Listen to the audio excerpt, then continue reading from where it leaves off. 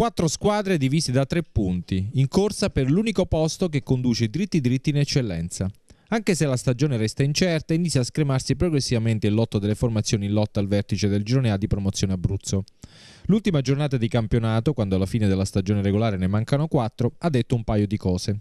Le distanze in testa si sono nuovamente accorciate, mentre Santomero e Mutignano, ora a meno 6 dal vertice, a meno di un filotto, difficilmente potranno correre per il primo posto.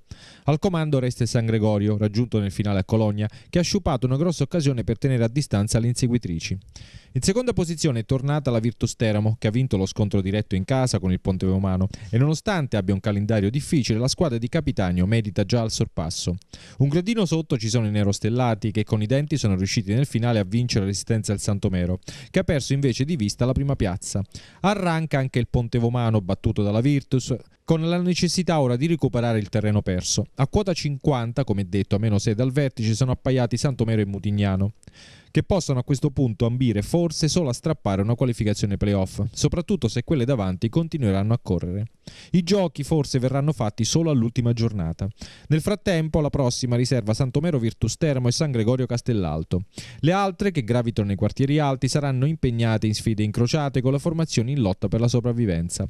Lotta salvezza che è tornata ad accendersi dopo il successo in volata del calcio Giulianova. I giallorossi a secco da 5 mesi hanno rialzato la testa.